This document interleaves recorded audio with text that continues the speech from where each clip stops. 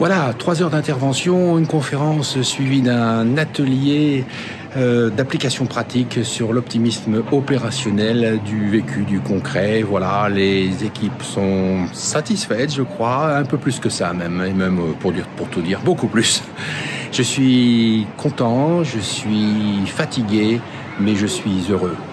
Et quand on a fait euh, ce qu'on devait faire et qu'on a donné le maximum du maximum, euh, quitte à avoir les yeux un peu fatigués, eh bien peu importe, on est heureux d'avoir fait ce pourquoi on est fait, c'est-à-dire transmettre.